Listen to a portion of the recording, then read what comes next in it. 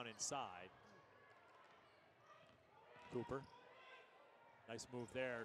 Good and good effort by DeCortis to get out of the way. I think she was almost in, going to be in the MAAC, the MAAC Rookie of the Week can't get it to go. Haney up ahead to Cooper, waits for Haskell to go by and lays it in for two. Cooper into double digits with 11. They add so much to the atmosphere on the court. When they're not there, you realize it. That's a great look by Lee.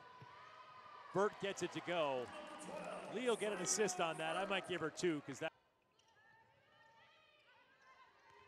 Singled up on the post with Vatanen. Little turnaround there, and finally the bottom of the bucket for And you know what? That's a mature getting a wide open look for a teammate. Cortis saves it in bounds. Good look underneath from Haney to DeCortis. It was one of those.